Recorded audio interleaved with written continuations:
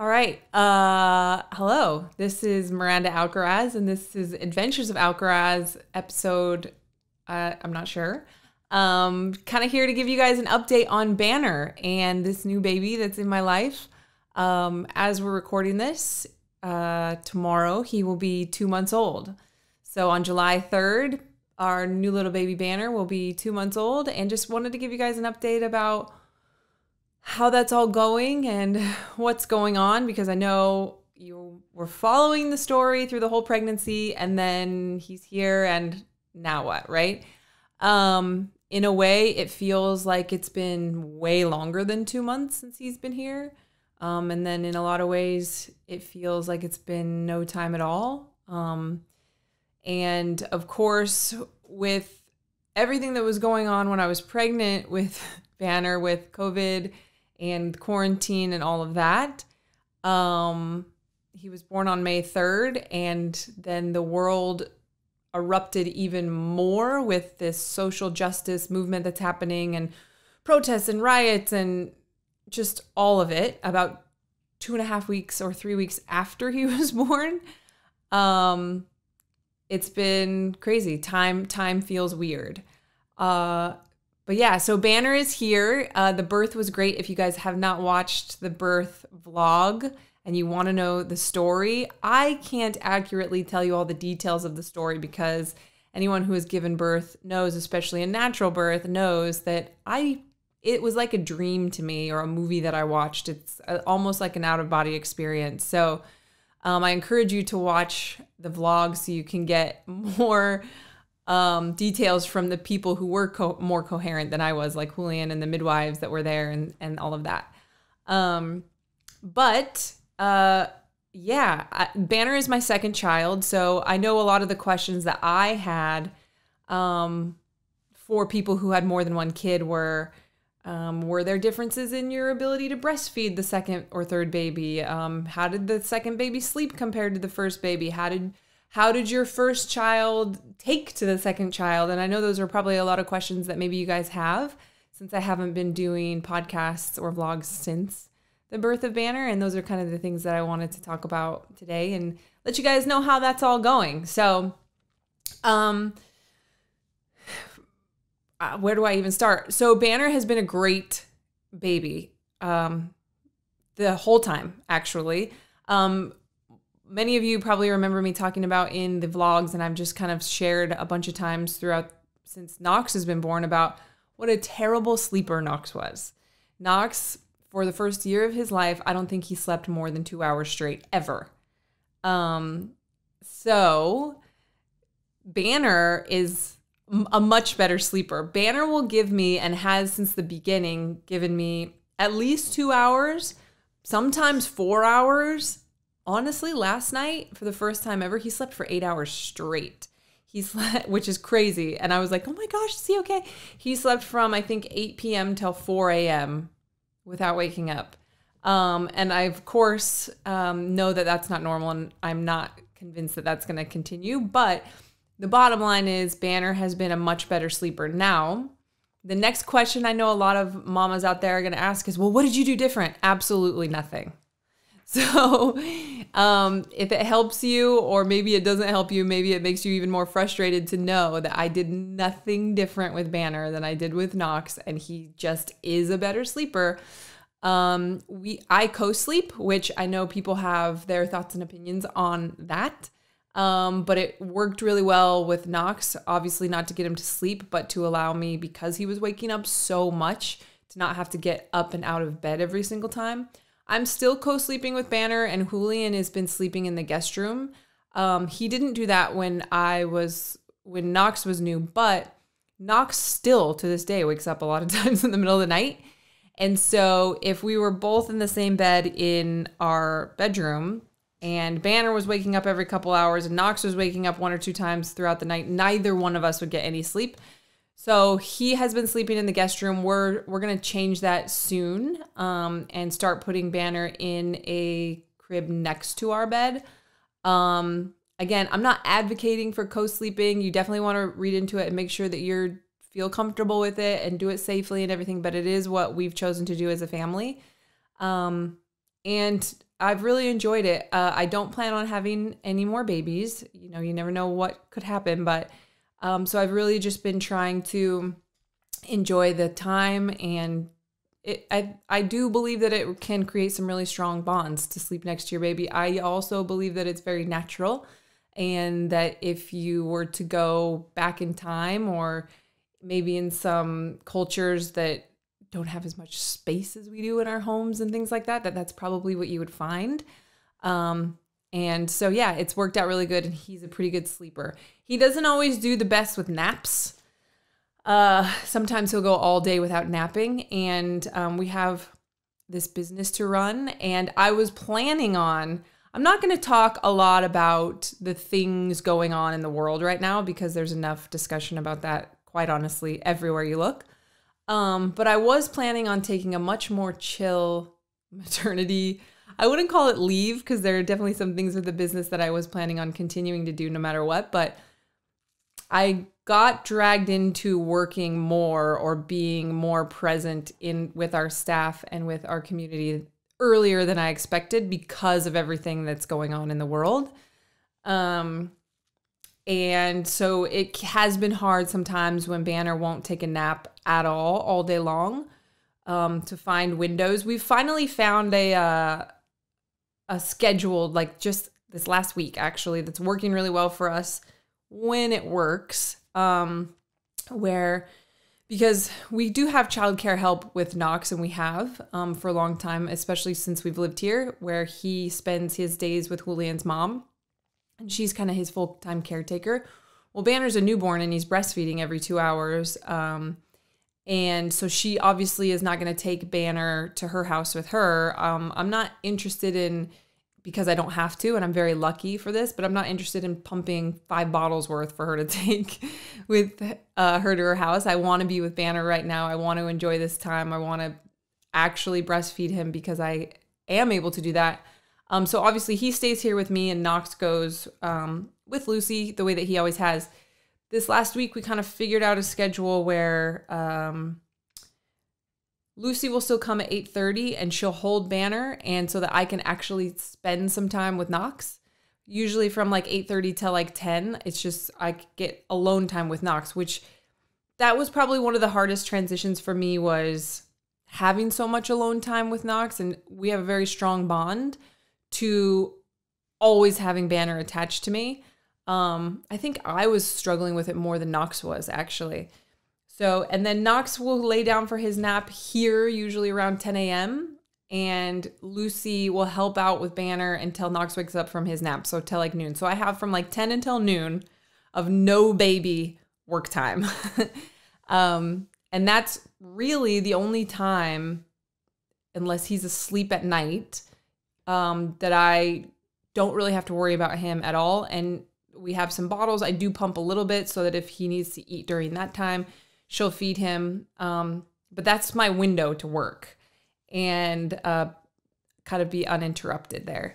Sometimes not, Knox wakes up way earlier than noon, so that two hour window turns into a one hour window or a 45 minute window. But that's kind of what we're working with right now.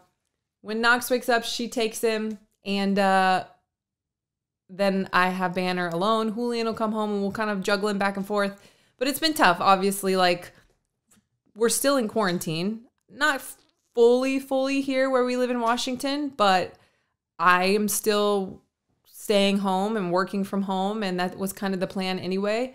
Um, I still haven't gone anywhere other than doctor's appointments and the Starbucks drive through. I think I went to the office once when we did our DEXA scan body fat test and Lucy's house, and that's it for since March.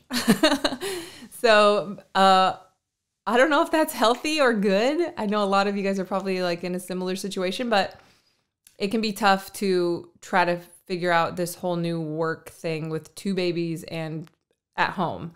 Um, but we're doing pretty good. And if if Banner naps during the day, it gives me a little bit of extra work time, but it's it's a juggle and it's a struggle and we'll keep we'll keep figuring it out. Um, I know a lot of you guys probably have questions about the breastfeeding. How's that going?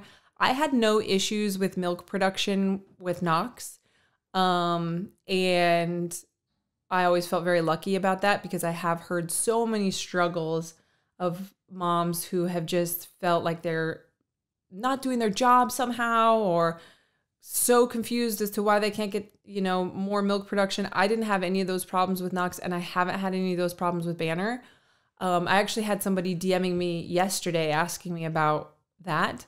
I don't know that my answers are the reason that I don't have any issues, but when people ask me about it, I tell them that I eat like 2,500 calories a day and I drink, this is not like an exaggeration, at least 100 ounces of water um, a day. I think from what I've read, uh, that water has more to do with it even than the calories do. Um, that if you're dehydrated, it really can mess up your supply. So, is that the reason I've had no issues? It might be part of it. I think part of it's also genetic. I think part of it's also how you're healing from your birth and how you're sleeping and stress and all of that can all play into it. But um, those are the things that I do to make sure that I can continue to breastfeed him. And he's done really, really well. I know sometimes it's not the mom and milk supply, it's the baby having a hard time, or the mom and the baby together having a hard time figuring out how to breastfeed. It's actually like a skill that the baby needs to learn. Um, and he's done really great. The same that Knox did really great. So I feel really lucky that I've had that happen twice now. Um, yeah, I know uh, that I get a lot of questions also about fitness. Like, okay, so rehab versus bounce back and weight loss and blah, blah, blah, blah, blah, right? All the things. Um, I've been pretty vocal about that on my social media, but if you haven't seen it, um, I did do the lying in phase. I, I, I, wouldn't, I wouldn't say that I was like fully hardcore lying in for a full 30 days. Um, that kind of got interrupted by some of the things that came up uh, with work um, that were very stressful. Uh, and then my response to that stress was feeling like I needed to move a little bit more and get outside a little bit more and at least walk and stuff. So the restful, relaxing, I'm just going to lay in bed completely for 30 days was cut a little bit short, but I definitely got a good solid, I would say at least two and a half weeks of it. And it was awesome. Um, it was just peaceful and bonding for myself and Banner. And Knox would come in and lay with us every morning and watch cartoons while I was like feeding Banner. And there, those are photos and those are memories. And I'm so glad that I did that. Um, and then once I started moving, uh, it was walking at first. It's not as sunny here as it was in Southern California when I had uh, Knox, where I was like walking like hours a day in the sun and sweating, and the sweat felt good. It was pretty rainy here um, during that time period, and I, I have no issue walking in the rain, but it's you know when I'm walking with Banner either in the in the mom carrier or in his stroller, if it's hardcore raining, that can be tough. Um, so I walked a lot, um, not as much as I did with Knox, but I got some good walks in. And then I started doing some functional progression rehab type stuff to rehab my core and my pelvic floor and just honestly get my body to feel more stable as like a whole unit again. You you feel weird after having a baby. It's similar to an injury but also different. Like your body because it's this 9 month long period of your body changing where an injury is like more acute usually like it's a broken bone like one spot or like a torn ACL or whatever it might be your whole body does weird stuff when you're pregnant and it doesn't just like go back to normal right away so you kind of feel weird and all over um, so the functional progression is something that was created by Erica, who was my doula. If you watched any of the um, vlog episodes, and she was in those, and I talked a lot about her on the podcasts and it's all about um, just rehabbing your core and your pelvic floor. So I started adding in some of that stuff and testing out um, the new street parking rehab program that we're going to be putting out for new moms. Um, and that program slowly transitions you into actually doing stuff that looks more and more like a workout. Um, for me now, I feel pretty good. There's definitely movements that I'm still avoiding. I haven't, I mean, I haven't been doing pull ups. I haven't been doing box jumps. I haven't been running. I've done, I think, one workout with push ups on my knees um, and really just feeling for do I feel any sort of. I remember when I was when I was um, postpartum with Knox, when I would try to do push ups, it felt like almost like a burning in the middle of my abs, um, where that like diastasis, that ab separation was. And I pay attention to that a lot, and I pay attention to my position and all of those things now. I've slowly added weight. Um, we started doing the 20 rep back squat program. Um, for those of you that aren't familiar with that, um, this is a way that I've used. I used it after I hurt my neck. I used it after I hurt my knee. I used it after I was uh, pregnant with Knox, and so I'm going to do it again because it controls how quickly you're adding weight to your squatting movement, and you could, you're only adding a certain amount of weight each time. And I'm only doing it once a week, but basically you do 20 squats unbroken I started with the empty women's bar, which is 35 pounds. And then the next week, literally a whole week later, I did it with 45 pounds. And I'll be up to, I think, 85 pounds now. So um, it's a way to add weight slowly, but get that strength back um, while you're learning how to hold positions and everything again. We've been doing a lot of stuff with the sled, um, so much so that I've dragged the street parking staff in with me. Um, the sled is something that I used in recovery from my neck injury, and I used it a little bit with Knox. Our neighborhood that we lived in with Knox was not as forgiving if I would have been rolling around with the sled too much. I feel like people would have not appreciated that in Orange County, California as much. Um, but yeah, just trying to be creative with maintaining muscle mass. We got a DEXA scan at four weeks, which I would not recommend for anyone. A DEXA scan is a body fat test. And I know what you're thinking. You're probably like, why would anyone get their body fat tested at four weeks postpartum? I'm weird. I like numbers. I like measurements. I like to see um, how things progress. And I know weight is useless. Um, and so I did it four weeks postpartum with Knox because I had done it shortly before I got pregnant with Knox. Um, and I had done it shortly I mean, like six months before I got pregnant with Banner. Um, so why not? Why not have another data point, right? So we went and did that, and this time I lost muscle. I lost muscle in this pregnancy, which I didn't in Knox's pregnancy. Um, it might have been that I laid around a little bit longer um, after with this one. It honestly might have been because I know I was eating less calories when I was pregnant with Banner than I did with Knox, so that might have had a little bit of something to do with it. I did have to scale a lot more in the pregnancy with Banner than with Knox because it was my second pregnancy and um, some of the I mean, anybody who's been pregnant more than once will tell you that stuff happens a lot quicker in the second one. So this the scaling happened a lot sooner. Um, but yeah, I was not super stoked about that. So I've been trying to be creative with the sled and, and those sorts of things to hopefully gain some of that muscle back. Um, I have I still have like 15 pounds to lose as far as like weight on the scale. But again, try not to focus on that and focus on gaining the muscle mass back first because that will ultimately help me. And um I have days definitely where I like see photos or videos and I'm like, ugh, like it still just doesn't look like me and it's annoying because it's taking longer this time or whatever. Um, but I'm confident that as long as I just stay the course, that eventually I'll get back to feeling like myself again. And we'll see. We'll see what um, this postpartum recovery where it takes me because I think every time it's different and you can't expect to ever go back to exactly where you were pre first pregnancy, second pregnancy, whatever. So we'll see, but I feel good. I have no like lingering issues as far as I can tell from the birth or the from the birth or the pregnancy and um, I'm excited. Uh, the world is weird right now. Um, more than anything, I fear for like where we're all going to be when my sons are teenagers or adults. Um, that's probably what gives me more anxiety than anything else. Um, but in general, we're doing good.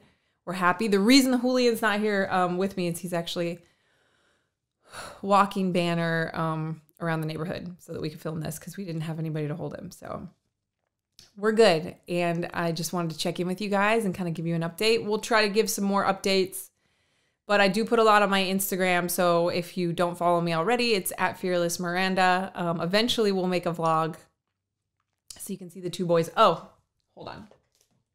I'm like, my throat's dry. There's one thing I forgot. Knox loves Banner. He is obsessed with him. He has never gotten mad at him. He has never said take him away. He has never um, shown any real, real signs of jealousy toward him. He'll say sometimes, like, if I'm holding Banner, he'll tell Julian to hold him, or if he wants to um, play with somebody and that person's holding Banner, he'll tell him to give him to somebody else. But he has never like shown any sort of anger or jealousy that has been directed at Banner. He snuggles him, he loves him, they take baths together.